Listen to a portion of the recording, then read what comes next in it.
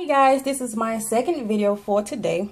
So, um, I have something different to show you. I know you're probably used to me showing squishies and stationery and dolls. But I am really into the whole Sweet Lolita and the pastel goth and all of that type of stuff. So I really want to incorporate that on my website. So I have been slowly um, adding in more pastel goth type things or it's not really adding more pastel, but more accessories.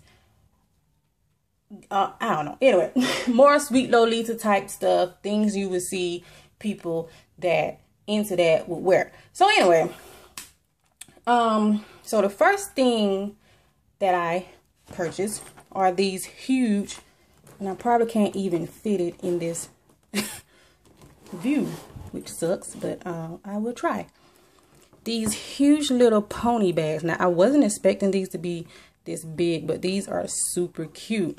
I have three colors. I have pink, blue, and purple. Of course, pastel, pink, pastel, blue, pastel, purple. So here is the blue one. Let me see if I can move my camera back some. And here is the purple one. And they are really good quality. So there's the purple one. So here is this the top view. The back view the bottom view and here is the back view. And you really do get a lot of room in here.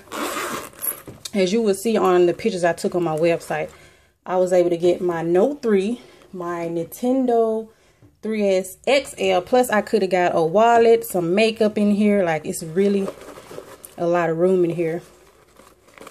It does come with um, this belt to put on there so you can wear it as a handbag or a clutch.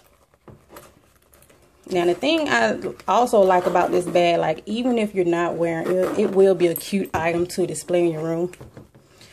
And I don't have anything in the bag right now, but let's see if I can get it to stand up by itself.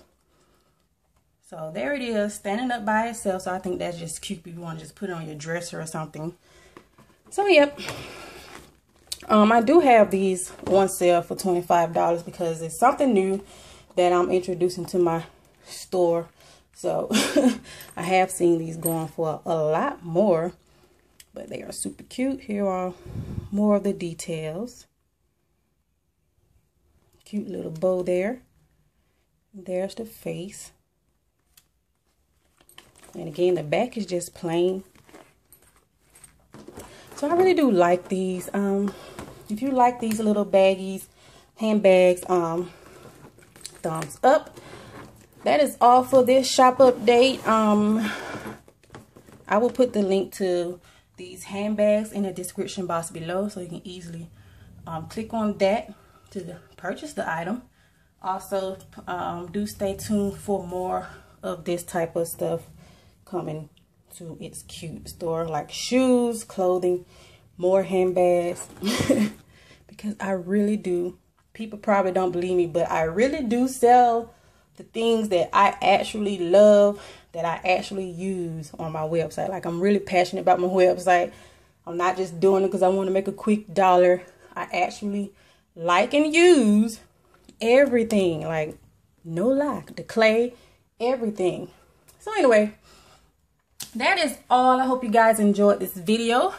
And I'm thinking about doing a giveaway for one of these little handbags. So if you think that's a good idea, comment down below and let me know do not comment into me. This is not a giveaway. I'm just asking you if I should do one. so, yep. Bye-bye.